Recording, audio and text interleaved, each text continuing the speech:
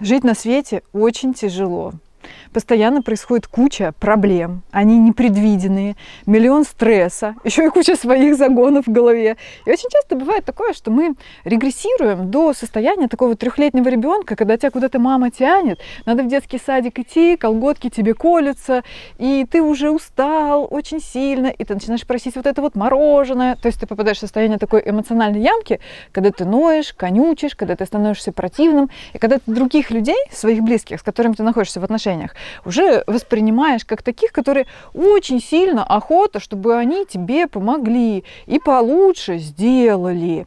И при этом твой близкий человек имеет кучу проблем, загонов и стрессов, он сидит в состоянии эмоциональной ямки, и он очень сильно хочет, чтобы ты, его близкий человек, ему помог. Вот так вот мы и живем, как маленькие детки, без ручек и без ножек, в состоянии инфантилов, которые только хотят брать что-то в отношениях.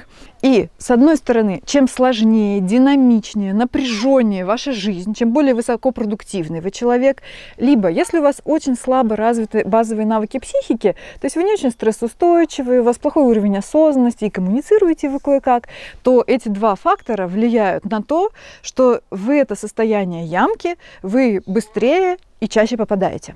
Что это за состояние? Это состояние, когда ты просто устал и у тебя закончился ресурс. Именно в этот момент мы становимся неприятными в отношениях. То есть мы становимся раздражительными, мстительными, грубыми, агрессивными. Из нас начинают непроизвольно вылетать какие-то неконтролируемые, э, импульсивные и бессмысленные выплески негатива, которые только портят наш воздух и пространство вокруг нас самих и э, наши вашему близкому человеку это портит настроение. И вы в этот момент не являетесь приятным человеком. Вы сами для самого себя внутри всегда приятный человек. Но другие вас могут просто терпеть или просто любить. Но приятным человеком вы для них не являетесь. И помимо того, когда мы просто огрызаемся, ноем, конючим, выражаем какое-то свое недовольство, еще и проявление просто игнорирования близкого человека и проявление нелюбви, тоже мы относим к этим симптомам общего стресса, усталости и того, когда закончился ресурс. Какой же тогда человек является приятным в отношениях? В первую очередь это человек щедрый, великодушный. То есть это тот, которому есть что дать. Это тот, который в стрессовых ситуациях остается спокойным. Это человек легкий, веселый, позитивный, даже обладающий чувством юмора по поводу какой-то ситуации, что свидетельствует о его высоком уровне интроспекции, такой веселой, который не выключается никогда. То есть это тот человек, у которого достаточно ресурса, у которого есть что взять, и именно такого человека хотят все. С ним хотят иметь, строить отношения все. И на работе, и друзья, и замуж за него хотят, жениться на нем хотят. И приятным человеком быть очень выгодно, потому что вас хотят все, с вами хотят все взаимодействовать. И по работе это принесет больше денег, и в любви это принесет больше счастья, и в дружбе это принесет больше социального благополучия и удовлетворенности жизнью приятный человек – это человек взрослый. Почему?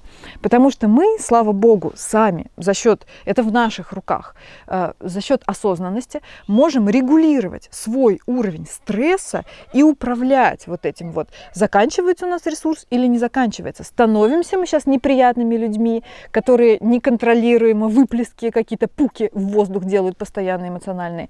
Либо же мы являемся приятным, взрослым для другого человеком. Сейчас будем учиться становиться, быть приятными людьми можно сказать, что неприятный человек – это инфантильный человек. Давайте посмотрим его характеристики. Это человек, который накладывает на других ответственность за свою усталость, за свои негативные эмоции, за свои мысли, постоянно ждет, чтобы они ему как бы помогли. Из-за этого он постоянно находится в состоянии хронической озлобленности, обиды на них, каких-то постоянных ожиданий вот этих вот. Потом он свою злость и недовольство постоянное выражает. Ты постоянно к ним придираешься, ненавидишь их, критикуешь в ответ ответ они, естественно, ненавидят тебя, и ты словешь конфликтным, неприятным человеком, с которым плохие отношения. Если у тебя плохие отношения с людьми, то ты никогда не получаешь то, что ты хочешь. То есть из-за этого ты становишься бедным, больным и несчастным. А приятный человек – это человек взрослый. Давайте посмотрим его характеристики.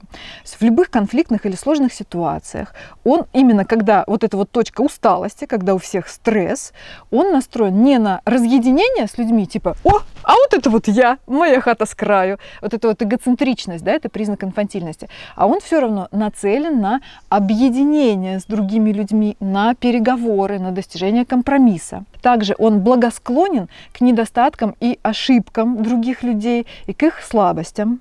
То есть ты по-доброму относишься к ним, к людям, принимаешь их, и когда ты по-доброму, так мягко относишься к другим людям, ты не разъединяешься с ними, а ты пытаешься их понять, то потом ты не только они тебя любят, обожают, они великолепно к тебе относятся, с них снимается напряжение, потому что их никто не судит, они начинают также относиться к тебе, и вы попадаете в какие-то потоки счастья, классной дружбы, веселья и продуктивных взаимоотношений. Но еще тут есть очень важный плюс, что со временем ты точно так же мягко, благосклонно и бесстрессово начинаешь относиться и к самому себе и ты сам за счет этого внутри еще больше расслабляешься. У тебя еще проходят и свои какие-то психологические проблемы. Как стать таким взрослым человеком? Это очень легко. Мы это с вами уже разбирали, ребята. Для этого надо очень хорошо овладеть просто осознанностью. И для этого ты должен хорошо отслеживать и осознавать свои собственные признаки физических негативных ощущений. То есть, например, когда ты устал, ты это сначала должен осознать. Потом, во-вторых, ты должен хорошо уметь осознавать свои негативные эмоции, то есть злость, обиду, грусть, тревогу, и постоянно держать их в секторе средних эмоций от трех до семерочки. То есть, когда ты понимаешь, что вызвало эту эмоцию, что ты думаешь сейчас по поводу этой ситуации. И третье, ты должен контролировать, то есть фильтровать, то есть отдавать себе отчет в своих негативных мыслях, особенно негативных мыслях какого-то э, осуждающего, критичного содержания или характера, свое суперценное мнение какое-то, например. А вот я считаю, что вот это вот плохо. То есть осознавать свою категоричность. То есть мы просто ставим такой небольшой как бы фильтр между собой и другими людьми и думаем о том, что мы через этот фильтр пропустим. И если окажется, что эта информация была существенна, то мы ее выражаем, ну, желательно в ненасильственной форме. А если она была несущественна, то есть не надо сейчас это слушать человеку, то мы ее просто оставляем при себе.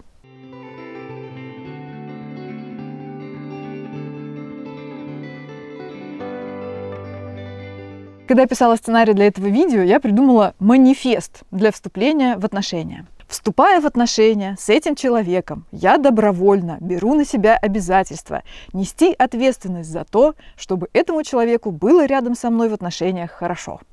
Это значит, что я не буду противным, не буду распространять негатив. И для этого я буду заботиться о себе, проявлять максимальную тренировку базовых навыков психики, нести ответственность за свои негативные физические ощущения, усталость, за свои эмоции, осознавать и правильно выражать их, и грамотно коммуницировать, и нести ответственность за свои мысли. Важнейшее замечание. И этот метод надо применять только в тех случаях, когда вы строите равные отношения, и они для вас очень выгодны. То есть, когда ставки высоки, когда вам выгодно поддерживать эти отношения, когда они вам что-то дают. И когда вы со своим партнером на равных в эти отношения вкладываетесь. Потому что очень часто вот такую штучку делают те, у кого перекос между давать и брать в отношениях. Это созависимые женщины, это женщины э, высокоуровневой пограничной организации личности, у которых отсутствует только одна функция до индивидуальности ситуации, это способность испытывать злость.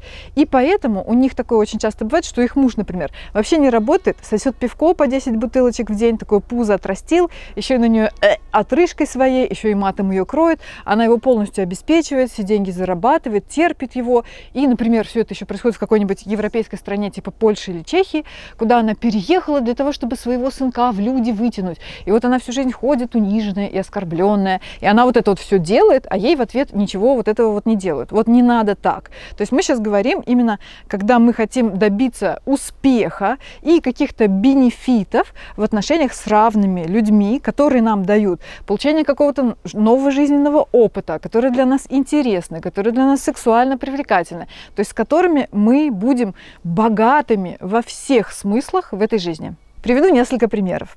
Одна психолог мне рассказывает, что она воспитала другую девушку-психолога, это была ее ученица, а, для того, чтобы, ну, в общем, она работала в ее технике. А она такая раз и работает не в ее технике, а в своей. И вот эта девушка-психолог мне говорит, я разорву с ней отношения, я не буду больше с ней общаться, потому что это как-то неправильно. И, в общем, я очень расстроена, разочарована, она неправильно работает. Если она разорвет с ней отношения, ей это будет невыгодно. Я ей говорю, а зачем разрывать с отношения. Пускай она работает в своей какой-то парадигме, может быть, она отчасти и правильная, может быть, она даже лучше, чем твоя немножко, или она просто в чем-то другая, или она подходит кому-то другому. Потом имей себе и эту подругу, ну и возьми себе новую какую-то ученицу, которую ты воспитаешь так, как уже ты хочешь, у тебя тогда будет две вместо одной. Это более выгодно. То есть мы не должны оценивать, осуждать негативно других людей, если они не такие, э, как мы хотим, а другие какие-то. Или вот такой пример. Допустим, сделали групповую фотографию, и тебе не понравилось, как ты на ней получился. А на ней 10-12 человек, и она висит где-нибудь в Фейсбуке. И ты пишешь своему другу, зачем ты выставил эту фотографию? Мне не нравится, как я на ней получился. Э, удали ее, пожалуйста. А тот говорит, да не хочу я ее удалять, это там типа мое единственное фото, там вот еще с другим другом, пускай она повисит, ладно, что ты как этот. Да? То есть тебе, ты не можешь вынести того, что ты на каком-то одном изображении получился не так, как ты себе представляешь себя в голове. Ну, во-первых, тебе не нравится, что у тебя там где-то жир торчит или висит, да, то есть, во-первых, может быть, ты на самом деле выглядишь вот так вот, и ты не хочешь применять эту правду. Ну или даже если ты там на самом деле получился неудачно, ну и что? Э, что тебе своего мнения о самом себе недостаточно. То есть ты чуть-чуть как бы учишься больше терпеть то, что не все в этом мире устроено прям очень супер сильно так, как ты хочешь. То есть можно просто потихонечку привыкать, попроще к себе относиться. Вы можете посмотреть мое видео про самооценку для продвинутых, в котором я очень подробно про это рассказываю. Третий пример – это постоянное выражение недовольства по любому поводу. Вот ты едешь, например, в машине в путешествие, и ты уже немножечко устал. И тебе кажется, что уже горы не такие высокие, уже и море не такое чистое, уже окурки какие-то на пляже валяются, уже официант какую-то грязную вилку тебе принес, и ты начинаешь бурчать и бухтеть. Ой, мне вот это не нравится, мне вот это не нравится, зачем мы сюда приехали. У меня недавно случай был, но не, не совсем про усталость. Мы сидели на шикарном пляже с моим парнем. И наши соседи грызли семечки. Я терпеть не могу, когда люди делают что-то очень громко своим ртом. Э, или они очень разговаривают в поезде громко как-то на какие-то интимные темы. Или они матерятся, или они чавкают, или вот они грызут семечки ртом. Я сижу и говорю, вот эти все циничные, иронизирующие высказывания. Знаете, кто им чаще всего грешит? Ими чаще всего грешат как раз-таки те люди, которые мнят себя интеллектуалами и очень умными. Те, которые, например, говорят, я матерюсь, но я матерюсь красиво. Эм, то есть они позволяют себе вот эти вот проявления какого-то снобизма и неприятности, и они даже более того делают это намеренно и позитивно это сами в себе оценивают. Вот это тоже неприятные люди. И я, короче, говорю своему парню, наверное, мы с тобой неправильно наслаждаемся пребыванием на этом пляже. Наверное, лучше было бы сидеть в пластиковых креслах и грызть семечки. Тогда море было бы, казалось бы, еще круче. Я это сказала и ушла купаться. А потом я возвращаюсь там, где он сидит. А он просто, пока меня не было, тихо и спокойно взял и одеяло на другое место перетащил, чтобы подальше от них сидеть. То есть я сделала лишние и неправильные действия. И вместо того, чтобы энергию это направить на выражение недовольства, я могла бы просто спокойно попросить его перетащить одеяло или сама бы перетащила одеяло. Есть еще такая часто распространенная ситуация, особенно в семьях, в которых все друг друга подвергают насилию.